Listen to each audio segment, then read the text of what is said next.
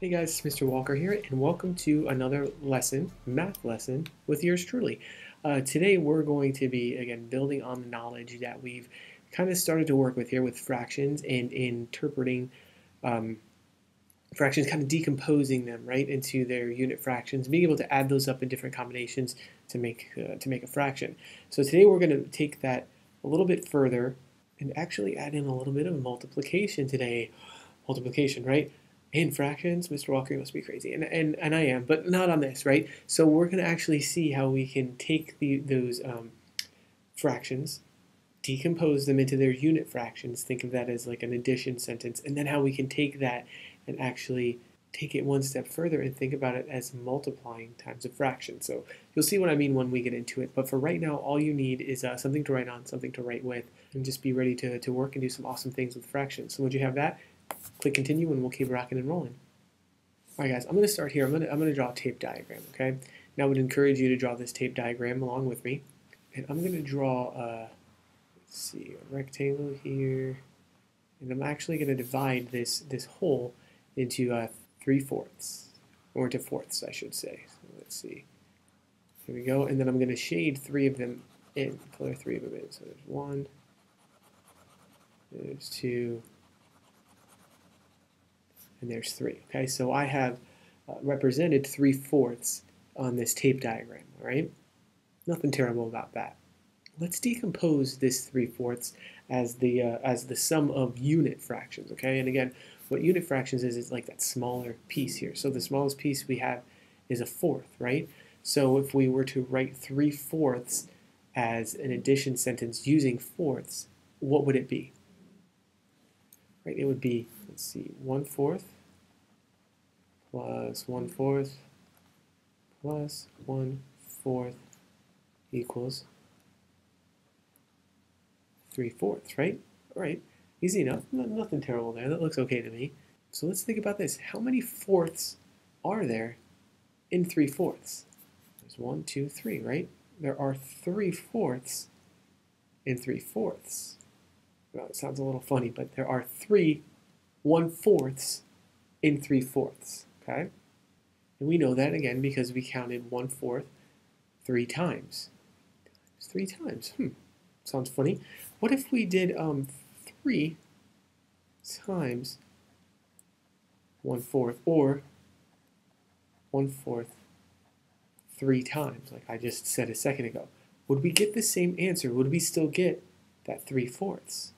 Yes, we certainly would we would get 3 fourths because we're basically counting that 1 fourth three times. So we would still get 3 fourths. So we can not only think of 3 fourths as 1 fourth plus 1 fourth plus 1 fourth, but we can think of it as 3 times 1 fourth. So we could start to kind of layer in some multiplication there, right?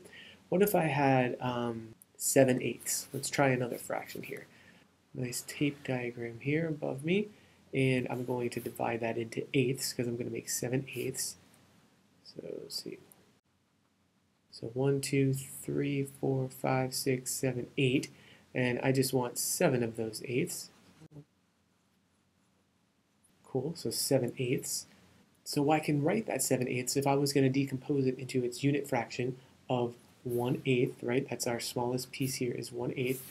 I could write that as 1 eighth plus 1 eighth plus 1 eighth plus 1 eighth. I could do that seven times. 1, 2, 3, 4, 5, 6, 7. 7 1 eighths would give me 7 eighths. But like I just said, I could also think as of 7 eighths as 1 eighth times 7. Same thing, it's going to get me to the same uh, amount. Okay, so we can start to think of it in terms of multiplication. Pretty cool. I mean, maybe not the coolest thing you've ever seen, but as far as math is concerned, it's pretty cool stuff. Let's take a look at another example. All right, guys, I have another example up here, and I, I kind of threw something a little bit different at you, at least in forms of like what we've seen before. So right here I have a, a number, I have a tape diagram showing a, a certain fraction here.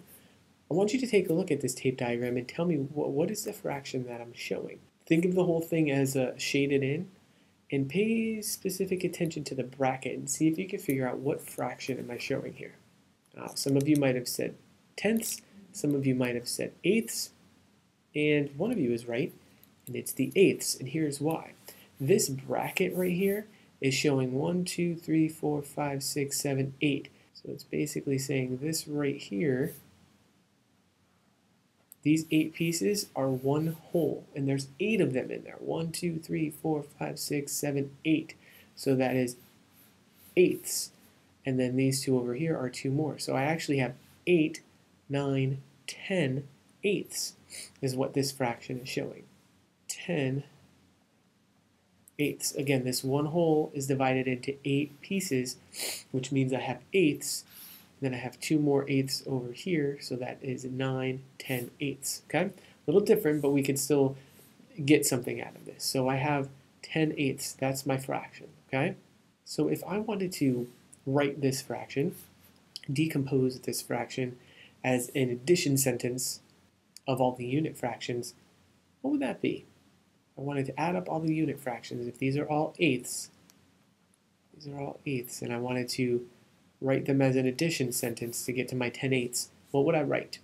Right, so I would have to write 1 eighth plus 1 eighth plus 1 eighth plus 1 eighth plus 1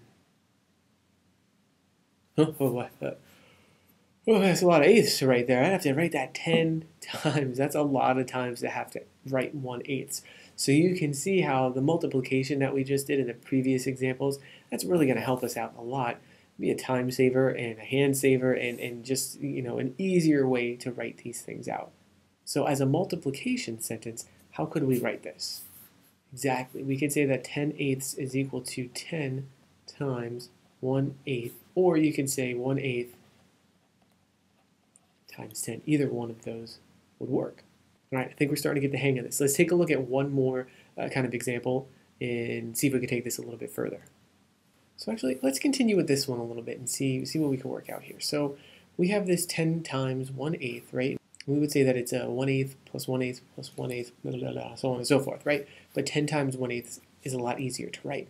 We can also take this a step further by doing something like this. We could say, um, we could represent the 8 eighths first, and then these two other eighths over here. And what I mean by that is we could say that um, 10 eighths is the same as 8 times 1 eighth, right? 1 eighth 8 times we get that answer and add it to 1 eighth two times. So it's another way we could kind of break up the problem a little bit and, and show it uh, some different ways. Because 8 times 1 eighth, that would give us 8 eighths plus 2 times 1 eighth would give us 2 eighths. So if we add those together now, we would get 10 eighths, right? And we could do that in a whole bunch of different combinations. We used 8 times 1 eighth and 2 times 1 eighth. We could do 5 times 1 eighth, which would give us 5 eighths plus 5 times 1 eighth, which would give us another 5 eighths. And then 5 eighths plus 5 eighths would give us 10 eighths. So you kind of get the idea. There's just different ways that we can kind of manipulate, move these fractions around uh, to make some different things but still always adding up to the same amount of eighths or whatever it is that we're representing, okay? So hopefully this makes sense. Hopefully it's starting to click a little bit. You guys are going to practice with this a little more today.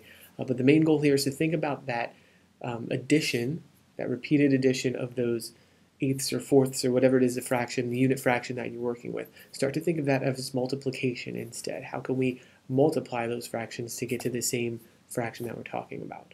So hopefully you guys enjoyed this. You're getting something out of it. Please let me know if you have any questions, comments, or concerns, and I'll talk to you soon.